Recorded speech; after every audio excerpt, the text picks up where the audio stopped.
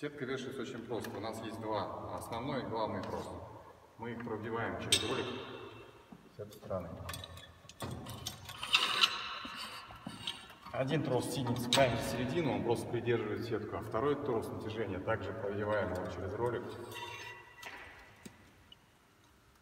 сверху. Главное смотрите, чтобы не попало между роликом и основной. То есть, чтобы шел по ролику, прошел. Дальше нам понадобится вот это приспособление. Оно лежит, как правило, в тренерской, в первом ящике верхнего, ну, верх, ну, верхнем ящике первого стола, который попадается. Продеваем трос через него. У нас получился вот такой вот элемент. Его цепляем за боковой крюк. Дальше вам необходимо вот этот трос основной натянуть на натяжной механизм. Чтобы это сделать, вам необходимо, чтобы натяжной механизм был вот в этом положении.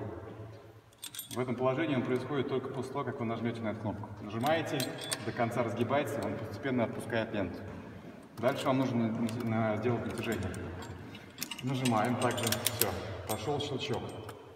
Дальше мы просто тупо натягиваем.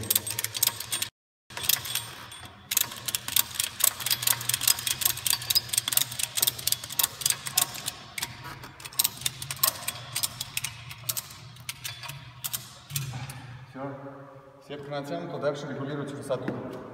Высоту регулируете путем измерения просто на свой там взгляд или на опыт.